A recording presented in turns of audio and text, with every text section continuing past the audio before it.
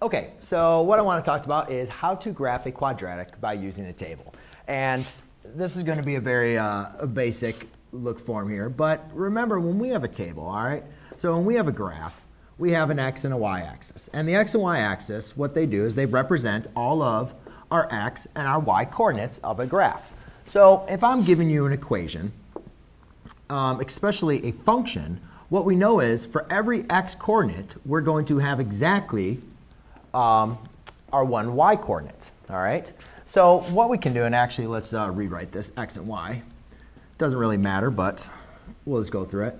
What I know is I can always produce a graph, all right, by applying a table. And what I mean by this, for every x coordinate, I'm always going to have a y coordinate. So let's just kind of go through and graph a couple equations. So the first equation is let's graph the standard equation, which is y equals x squared. Now, if I want to graph this by using a table, what I'm simply going to do is I need to choose points that I want to represent. And this gets a little bit of confusing with students because they don't understand, oh, how, how, do you know which number, which uh, values to choose? Well, remember a graph. A graph represents an infinite many of points as long as it's a continuous function.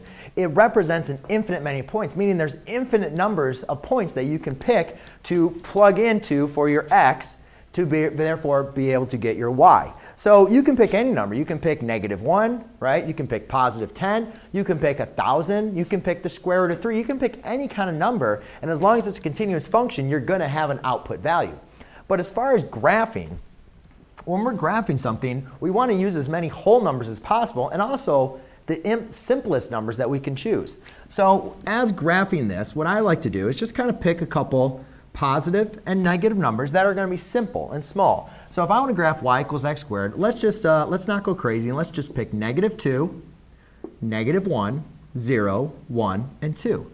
Now, when graphing a table, usually 0 is always a good one, and you always usually want to have a couple negative and a couple positive, depending on your graph, to kind of get an idea of how to graph with the table.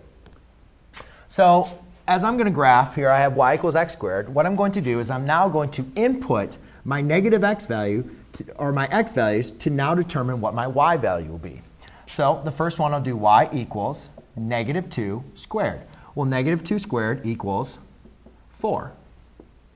So that's going to be one ordered pair, which I can write as an ordered pair of negative 2 comma 4, where x represents my, ne or negative 2 represents my x coordinate, and 4 represents my y coordinate. Then I'll just continue on. Let's do for negative 1. So that's y equals negative 1 squared, which we know equals 1. That is also a coordinate, a coordinate point of negative 1, comma 1. We can do y equals 0, which we know is just going to equal 0. And then we can just continue on. We could say y equals 1 squared, which equals 1. And then y equals 2 squared, which equals 4. And what we notice is it doesn't really matter if it's a negative or a positive, we're still going to kind of get our output value. And that's going to kind of be the characteristic of a parabola. So now that I have these coordinate points, I'll put these coordinate points over here to save a little space. Now what we're going to do is we're just going to plot these coordinate points. So the first coordinate point will be at negative 2. So I go over negative 2 on my x-axis because negative 2 represents my x-coordinate. And then I'll go up 4. 1, 2, 3, 4. Then I'll do negative 1 over 1. 0 comma 0, over 1, up 1, and over 2, up 4. And now what we have is this is a continuous function. So what I'm going to do is I'm actually going to connect these points. And we'll notice this is going to be our graph by using a table. And there's a couple important things to notice about this graph using a table.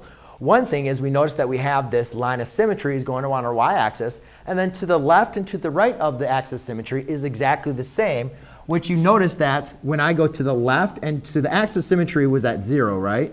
So that when we go to the left and to the right, you can see the y coordinates are exactly the same, and that's a characteristic of a um, graph. So I'll go through a couple more examples of how I graph using a table, but for right now, that is your standard graph. Thanks.